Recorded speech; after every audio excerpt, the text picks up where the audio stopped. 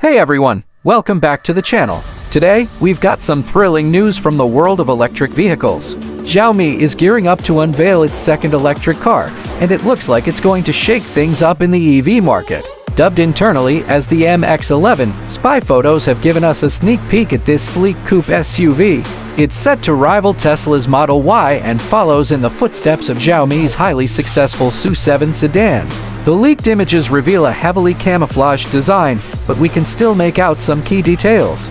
Up front, the MX-11 sports a modern look with integrated headlights that remind us of the SU7 sedan. What's really interesting is the LiDAR sensor mounted on the roof, suggesting advanced driver assistance features like Navigate on Pilot NOA. Moving to the back, the MX-11E's coupe-like roofline hints at a sporty character. Design elements such as side cameras, vibrant yellow brake calipers, stylish five-spoke wheels, and sleek exposed taillights further emphasize Xiaomi's distinctive design language.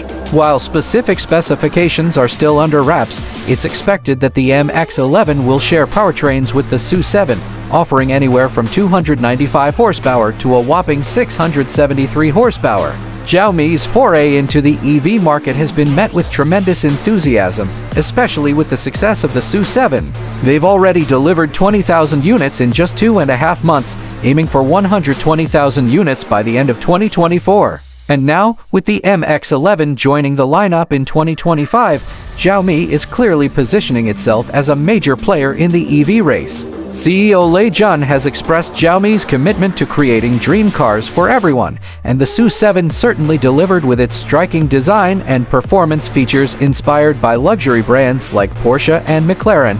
If the MX-11 continues this trend, it could be another game changer in the market, offering premium features at a more accessible price point. As Xiaomi ramps up its EV production capabilities, they're planning to start manufacturing the MX-11 by late 2025, once the second phase of their Beijing assembly plant is up and running. So, what do you think of Xiaomi's new MX-11? Are you excited about its potential to shake up the EV market?